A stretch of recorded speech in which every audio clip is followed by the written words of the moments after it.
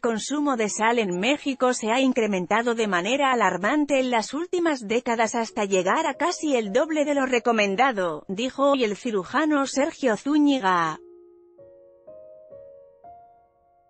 En México, se consume entre 7 y 9 gramos al día, es decir, de 1 a 2 cucharaditas pese a que la Academia Nacional de Medicina señala que las personas mayores de 16 años deben consumir como máximo 5 gramos de sal al día, señaló el también docente de la Universidad del Valle de México, UVM, en un comunicado.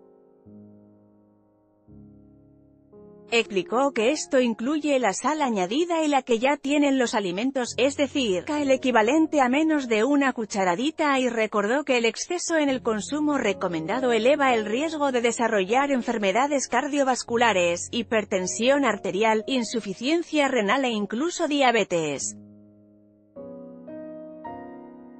Lee también, esta es la cantidad de sal al día que debes consumir. Zúñiga dijo que una de las principales fuentes de sal son los productos procesados e industrializados que se consumen cada vez con mayor frecuencia, por lo cual es importante revisar el contenido nutrimental de las etiquetas de los productos.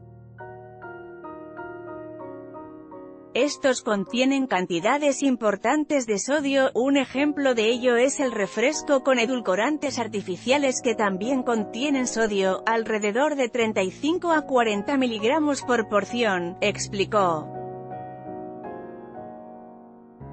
Recomendó disminuir el consumo de productos procesados así como los alimentos listos para comer, como sopas deshidratadas, sopas instantáneas y, o enlatados. Lee también, la sal, buena o mala.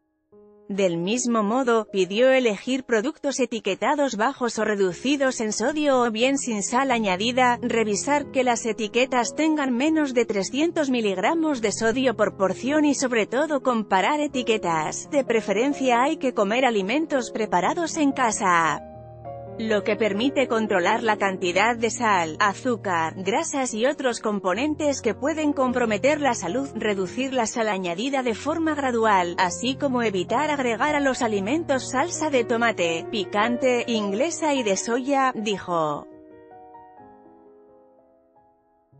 Finalmente, señaló que es importante la asociación de una dieta saludable con ejercicio y control del peso corporal, para reducir riesgos en la salud. F foto, foto de comida creado por FreePic en esta nota.